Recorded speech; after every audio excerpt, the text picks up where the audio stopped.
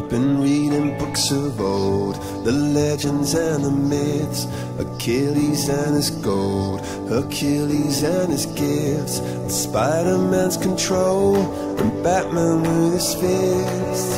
And clearly I don't see myself upon that list, but she said, where'd you wanna go?